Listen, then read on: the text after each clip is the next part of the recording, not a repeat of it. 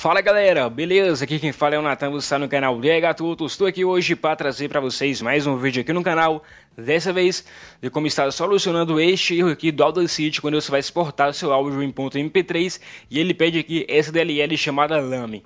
Bom, por estar cancelando aqui em seu computador, Ok, cancelei, está minimizando aqui então, maximizando aqui o seu Audacity. Bom, aqui embaixo para download vai ter esse arquivozinho .dll que está faltando aí em seu computador. Baixe então esse arquivo e extraia ele utilizando o setzip ou extrai também utilizando aí o WinRAR, tá? Tiver aí em seu computador. Logo depois, clique em cima dele com o botão direito e vá até recortar.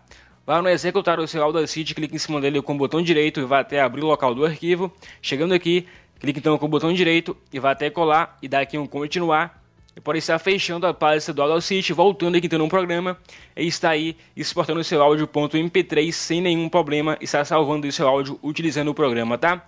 Salvei aqui então meu áudio em .mp3 no Audacity, está aqui na minha área de trabalho e esse aqui é o áudio do Audacity, salva aqui então em .mp3 como vocês estão vendo aqui.